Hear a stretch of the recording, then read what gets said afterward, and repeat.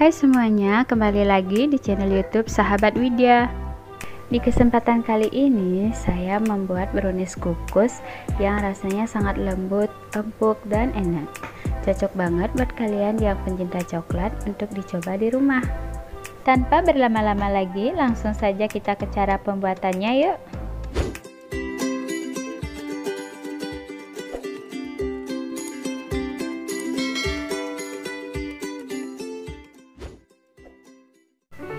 Langkah pertama, kita siapkan air panas dan kita lelehkan 100 gram margarin ditambah coklat batang 50 gram.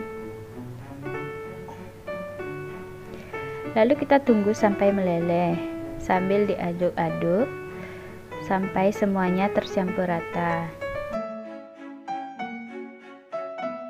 Setelah tercampur rata dan semuanya meleleh, lalu kita angkat dan sisihkan.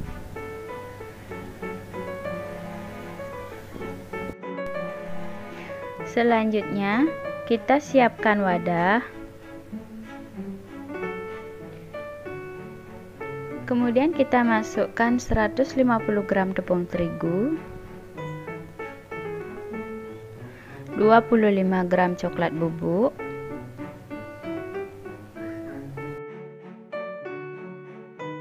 setengah sendok teh baking powder,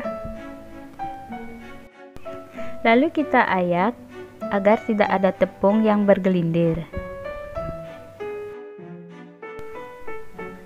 Lalu kita aduk rata dan sisihkan dulu bahan keringnya. Kemudian kita siapkan wadah kembali, lalu kita masukkan 3 butir telur, 150 gram gula pasir, 1 sendok teh vanili cair. Seperempat sendok teh garam. 1 sendok teh emulsifier saya pakai SP kemudian kita mixer dengan kecepatan maksimal sekitar 5-7 menit sampai adonan mengembang kental dan berjejak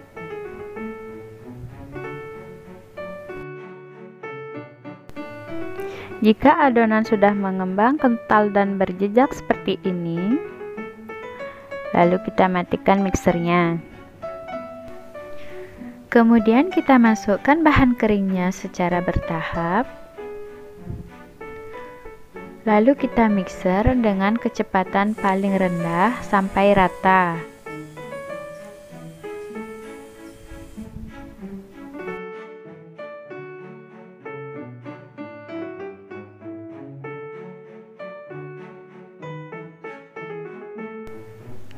Ratakan juga dengan spatula sampai tercampur rata. Lalu kita masukkan satu saset SKM coklat. Dan yang terakhir kita masukkan coklat batang yang sudah dilelehkan tadi.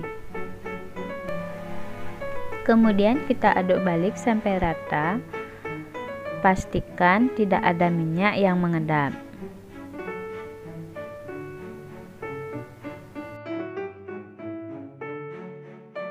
Jika adonan sudah rata, kita siapkan loyang.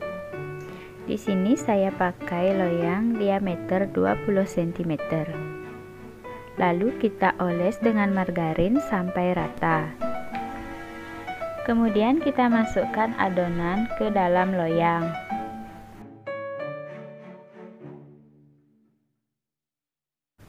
Lalu kita ratakan dengan tusuk sate.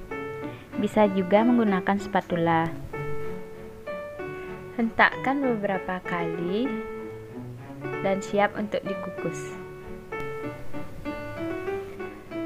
Masukkan ke dalam panci yang sudah dipanaskan sebelumnya. Jangan lupa tutupnya dilapisi dengan serbet agar uap air tidak menetes ke dalam adonan.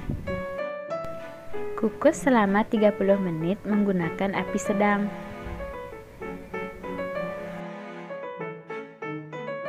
Setelah 30 menit, kita lihat hasilnya. Cek kematangan dengan tusuk sate. Setelah tidak ada yang menempel, langsung saja kita angkat kuenya dan dinginkan. Setelah kuenya agak dingin, kita keluarkan dari loyang.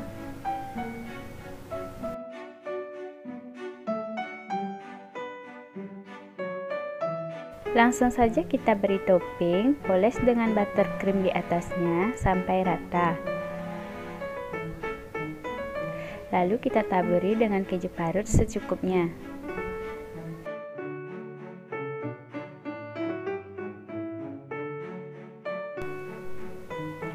Langsung saja kita sajikan kuenya dan potong sesuai selera.